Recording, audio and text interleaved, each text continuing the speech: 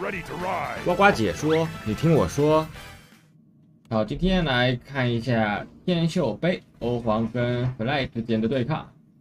这场欧皇出生在了左下角，黄色的亡灵对点蓝色的兽族是 Fly。地图是 LR，这张图亡灵优势图，但是这张图剑圣啊，我们能看到 Fly 也是用剑圣的这个开局。这个农民后面又点了个农民，就放不下磨坊。如果他不多点一个农民的话，那那那就是先知了。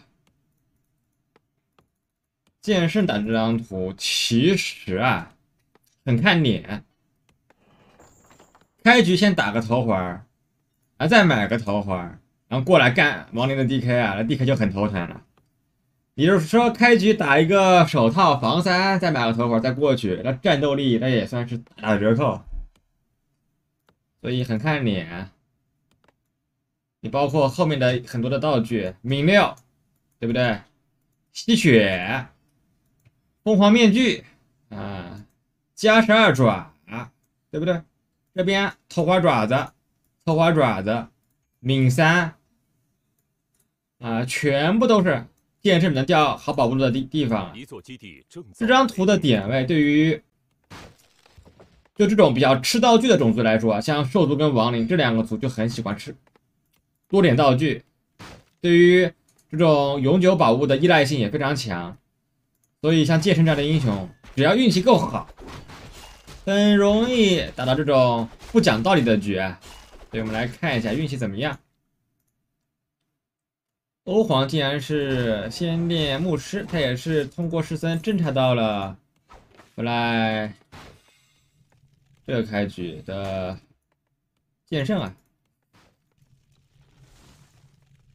这个世森，哇！这个世森要立功，你没有东西能处理他，他卡在这个位置，打不到他，对不对？这边欧皇跟弗兰形成对练的局，哇，这练级线路有一点妖，其实。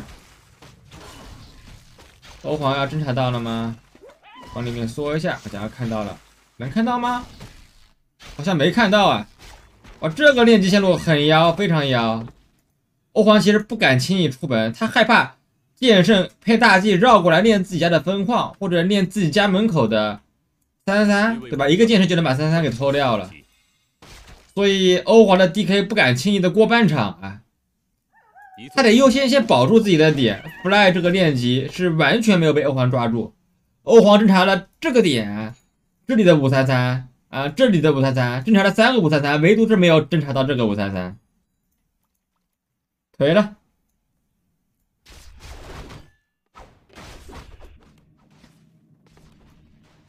那这边我们能看到那批科技猪也转出来，开始练家门口的小点。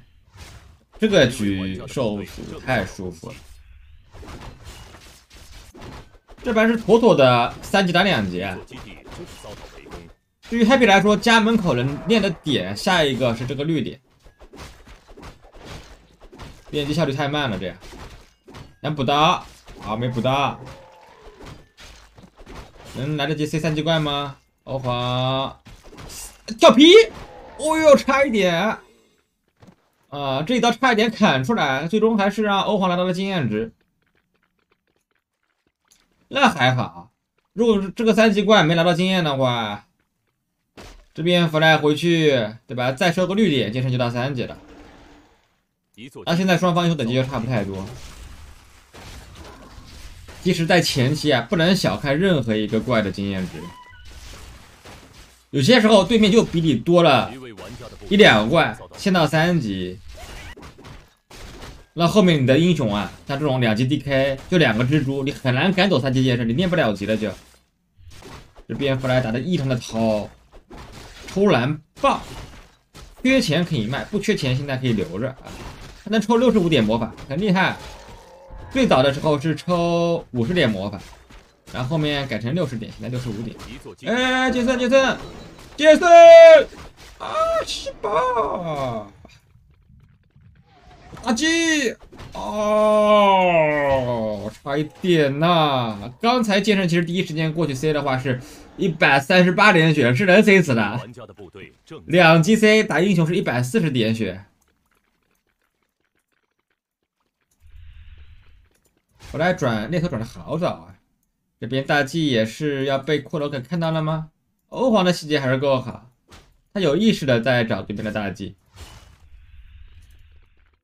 一座基地正遭到围攻，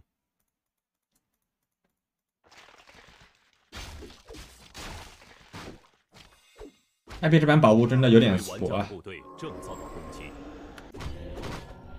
两个防三，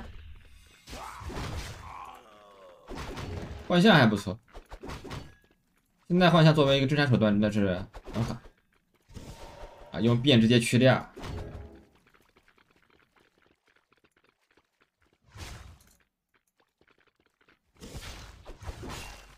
打蜘蛛可能要交回城，一个蜘蛛要不就不交回城了吧，对吧？一个蜘蛛就别交回城了，就拖时间，卡位。自己的二英雄还没出来，反补，哎呦，这就是欧皇吗？Happy 这种选手，他跟洛丽塔是我最最最最最讨厌的两两位选手。这个讨厌说的是技术层面啊，兄弟们，他们是两种极端，欧皇是操作的极端。这个兄弟，你不管是他，包括前期的狗流打先知，对不对？那围杀欲望还有围杀的一个功底非常强。你中期的反补，后期的秒英雄，部队的拉扯，阵型的控制，真的是太离谱了，就打起来很恶心啊！观众看起来很爽，我解说起来也很爽，但是打起来自己跟他打很恶心。然后洛丽塔的话，之前也有跟大家说过，这位选手就是恶心人的天花板。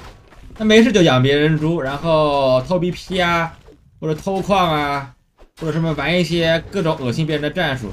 前前段时间我刚跟他打了一场，当时 TM 图他用了他已经搜印的那个打法，就是单恶魔猎手练练武，然后打打一波团到六级。我看都没看，直接跑家让他恶心我。啊、有机会给大家做一场那做一下那场的比赛吧。这这什么东西？这剑圣怎么回事啊，兄弟们？已经有点离谱了啊！这剑圣已经有点离谱了。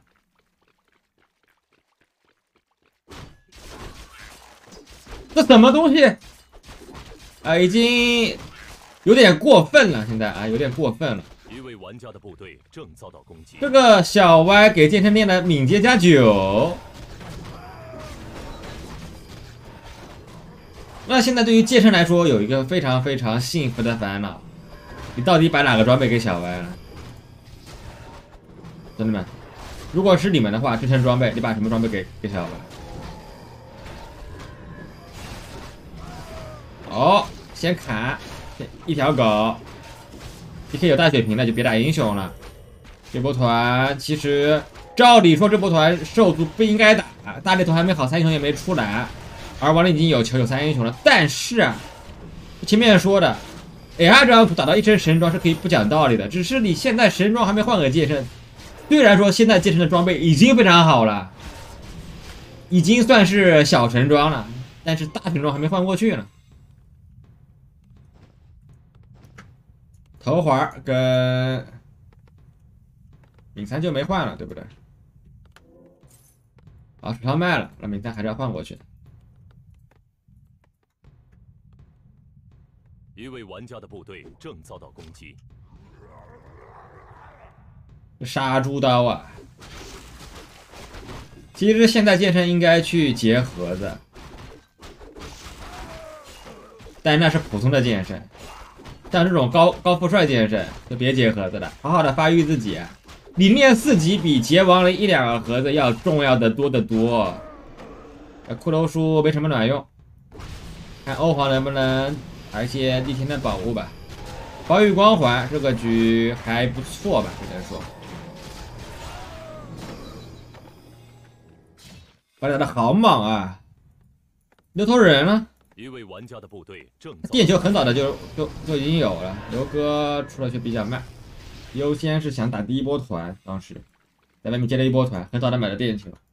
其实很大程度上也是觉得自己装备够好，能打这波团。其实最后也没有赚到，反而是浪费了牛头人的建造时间，导致现在刘哥的练级效率要慢一丢丢。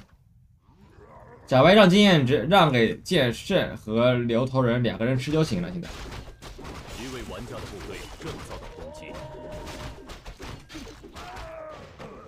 是是什么？What's your problem？哈哈哈。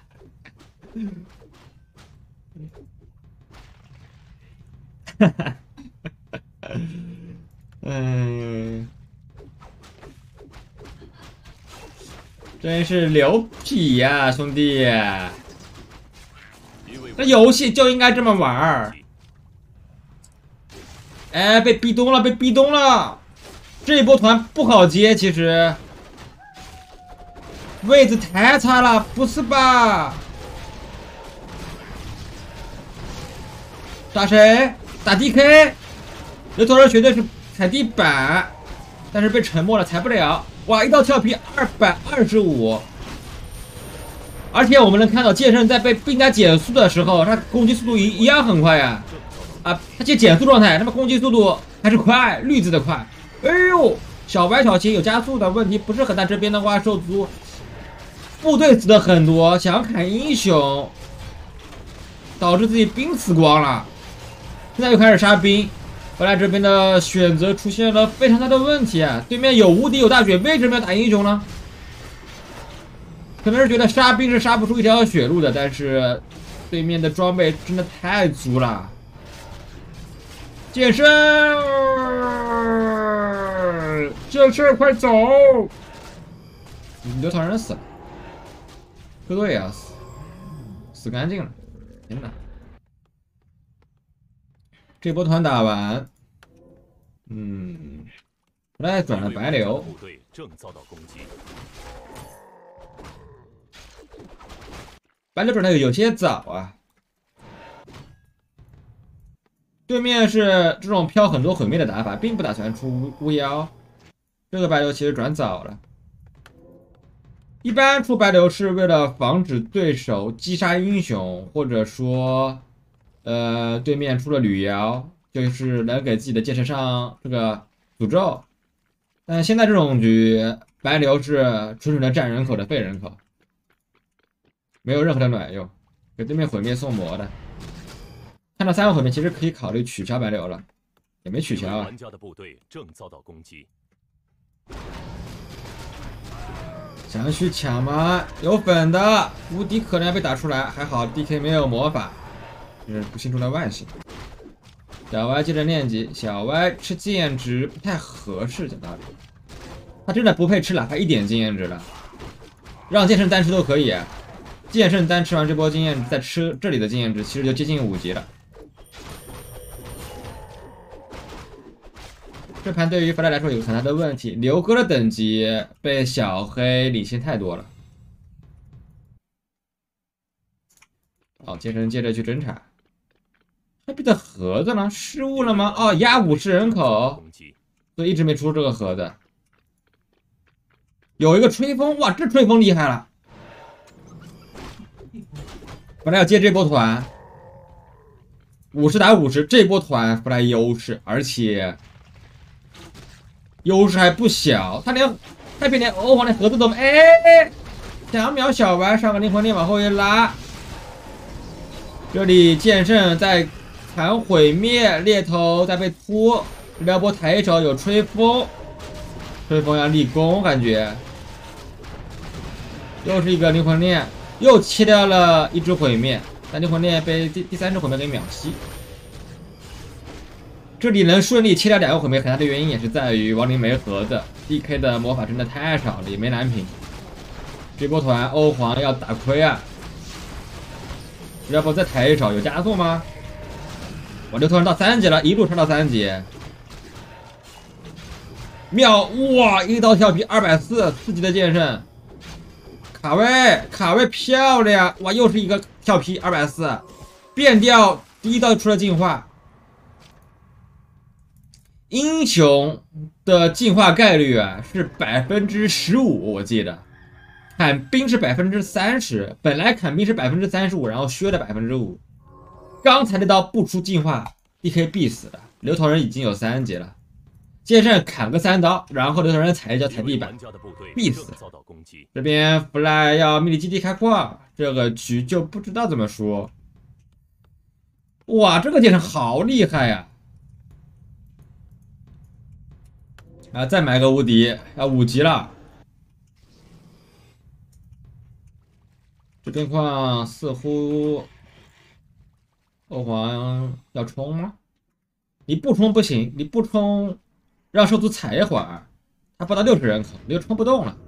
现在人口亡灵还领先一丢丢，还有冲刺一波的机会。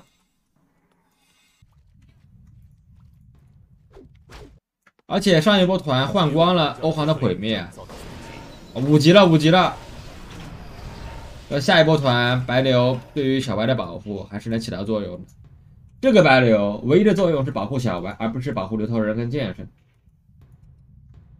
因为毁灭想吸前排单位还是比较简单的。小白的话，团战往后一拉，本来这个英雄的走位啊就是靠后的，往后一拉上个灵魂链，你肯定是一点想击杀他的欲望都没有。啊，我们能看到弗莱是把这无敌换给了小白，非常的稳啊。就这一场弗莱也很清楚，只要小白不死，刘头人你你秒你就秒吧啊，你秒我就放奶，我就放治疗波，我剑圣换无敌给刘头人，只要小白不死就能赢，稳住啊。背靠一根箭塔，还有商店，小金花一颗，美滋滋，要不要造再再造一根塔？八百七十七的木。再造一根塔，可以考虑一下，对不对？一位玩家的部队正造。接着结合的要开无敌吗？别开无敌啊！这个时候无敌真的是太关键了。换这个盒子，虽然说价格上是你赚的，但是战略意义上血亏。背靠商店还可以买买血瓶，刘唐人买两个血瓶干他家的。哦，刘哥换无敌，小白开无敌放治疗波，刘哥。什么？小歪小歪，无敌开出来，磕血瓶吧，别省钱，你双矿的还省，买了血瓶啊！讲道理，血瓶吃了应该也赢了呀，这刚才那那那轮什么啊？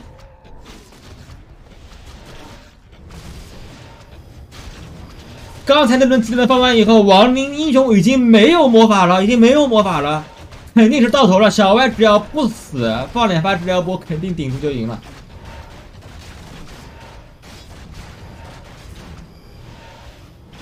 这一波，应该说欧皇打的决心是真的好啊，真的有决心啊，非常的果敢，上去就对着你英雄一顿抡。看你小白跟剑圣有无敌，就算你背靠商店，第一时间依旧直接 NC 沉默甩刘哥。当时刘哥磕了血瓶以后，小白是没有换无敌给刘头人，刘头人选择往后跑，想扣一个无敌，但是其实背靠商店可以考虑换无敌给刘头人，小歪再买一本回城，对不对？不怕被秒英雄的，根本就秒不掉啊！但只能说 fly 贪了，太贪了，这贪出事了呀！结果三个英雄一个接一个，全部阵亡，悉数倒下。天呐！我们看欧皇的装备啊，欧皇装备真的很挫，就这装备竟然团战干死了这手这身装备的剑圣，太难以想象了。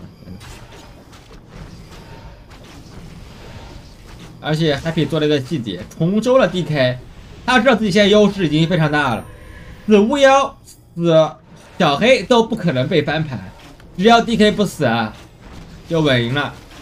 NC，就 DK 是重修的一个吃啊，就保证自己不死。欧皇打的不是就就不是很贪啊，像弗莱又比较贪，贪出事儿的。颓了呀，兄弟！啊，这盘输的好可惜。小白血瓶现在吃已经没有什么用了。本来第一次失误死牛头人没关系，还是要赢。但第二次小白的失误就太严重了。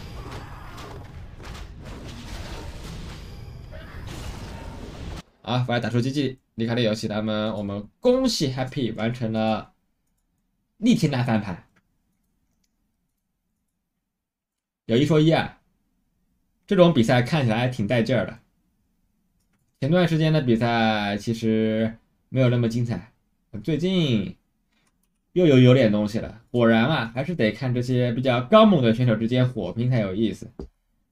哎，好的，那本期视频就到这了，兄弟们，我们下期再见，大家拜拜。